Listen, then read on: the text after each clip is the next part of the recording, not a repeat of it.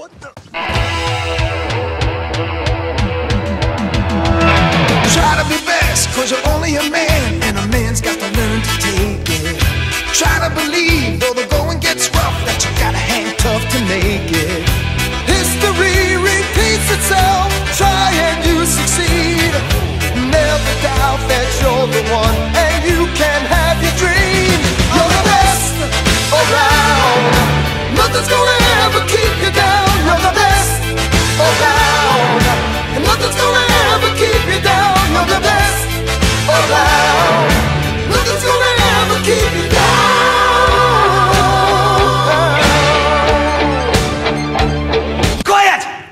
to the internet!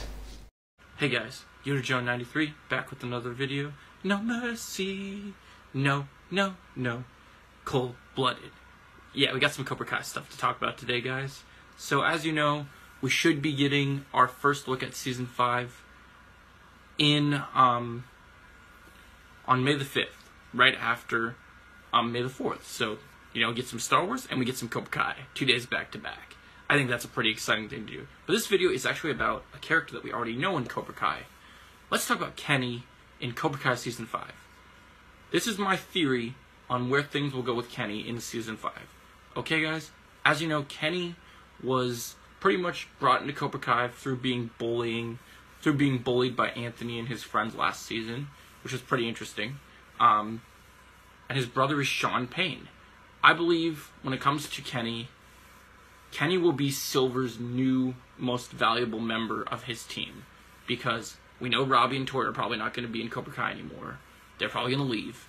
He's going to need that strong person. And let's remember when we were when they were having their students spar, Terry Silver, master of insane martial arts skills and brutality, chose to he chose to have Kenny as the person he trusted. And even though there was issues with Robbie's trainings and everything, he turned out to be a very strong kid. And in the finale, he actually was willing to like beat down Kenny in the locker room. Like he has that no mercy mentality that Silver's looking for. He's ruthless, brutal. He can he can kind of be the Palpatine. Silver can manipulate him, and this could kind of be like his new Anakin Skywalker. He can get in his head, make that darkness flow through him, go crazy because he's got this vengeance. He wants to still come at Anthony. He's the bully now. He he's darkened, and I mean it'll be interesting to see what happens with Shawn. Shawn's either gonna love the fact that he's so dark and he'll join Cobra Kai and be brutal, or Shawn's gonna try and stop it.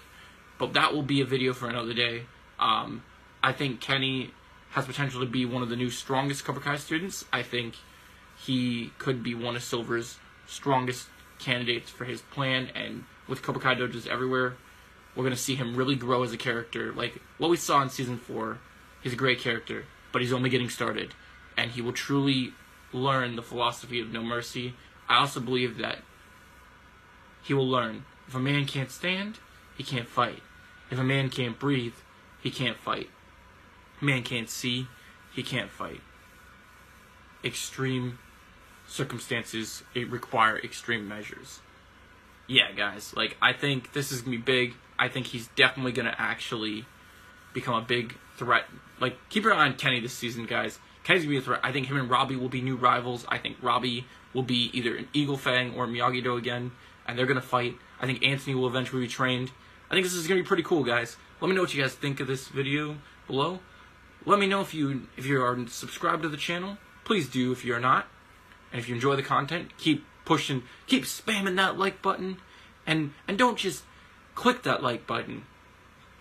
Hit it and show it the way of the fist. No mercy. Have a great day.